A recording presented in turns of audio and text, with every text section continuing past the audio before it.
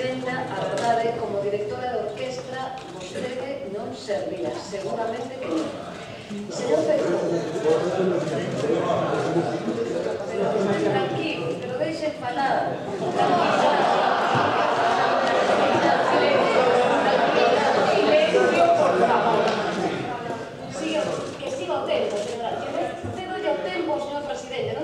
Ahora non temos tempo, señora. Sí, xa, pero está correndo, señora Presidente.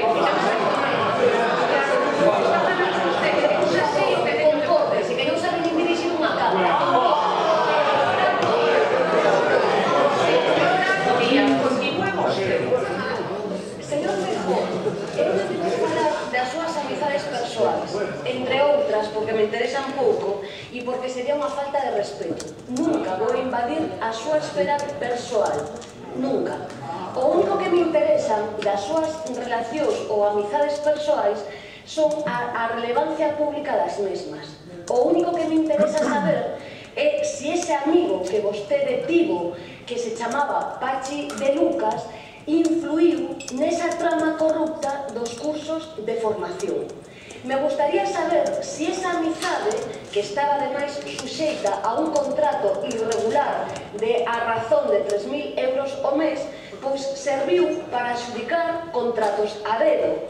Gustaríame saber tamén se si esa relación serviu para financiar irregularmente, con carácter presunto, ao Partido Popular.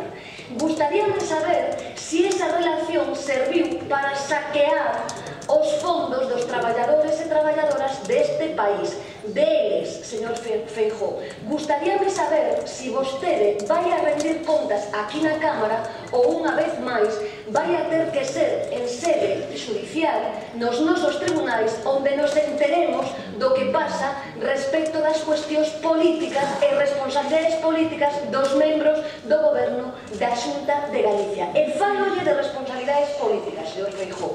Porque, mire, vostede di que está personado. Está personado, efectivamente, pero pode ser que sexa expulsado da acusación como xa foi na causa Gürtel e na causa Bárcenas por non atender aos intereses que tiña.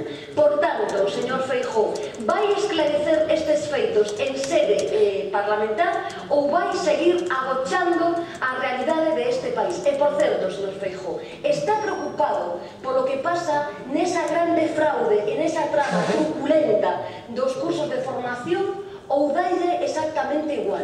E tamén, señor Feijó, como me dixo nunha ocasión, causa de repugnancia o que está pasando cursos de formación ou só lle preguntan, preocupan en Andalucía, señor Feijóo.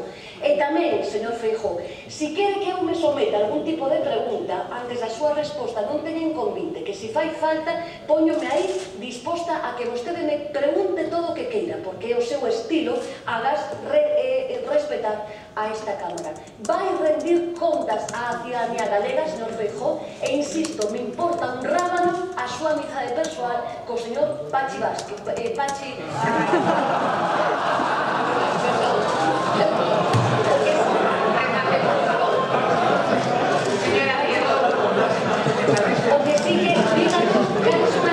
Se lió, se lió.